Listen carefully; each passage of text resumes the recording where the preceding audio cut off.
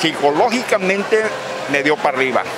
Le estaba platicando a mi hijo, yo empiezo mañana a moverme, le digo, porque sé que cuando menos de esto no me voy a morir, le digo. Entonces, porque me fui para abajo feo, feo me fui para abajo. Fue una de puro gastar y luego a mí me pegó el COVID al principio y ya me andaba. Porque yo padezco presión hipertensa y este y pues creo que me ayudó alguien. Una vez que hice fila, caminó bien, de veras.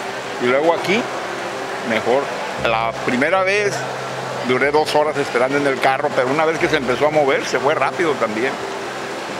La gente que... Es más, ni sentí.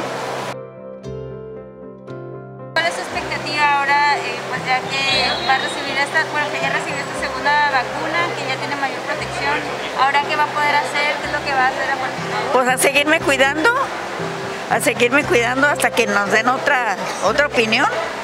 ¿Tiene la, la tercera ola? ¿Va a seguirse resguardada? Sí, Siento como de 15. ¿Se siente rejuvenecido? Pues me siento contento más bien. Espero que, pues anímicamente me siento bien porque creo que eh, me inmunizaron y pues hay que seguir laborando para empezar a trabajar.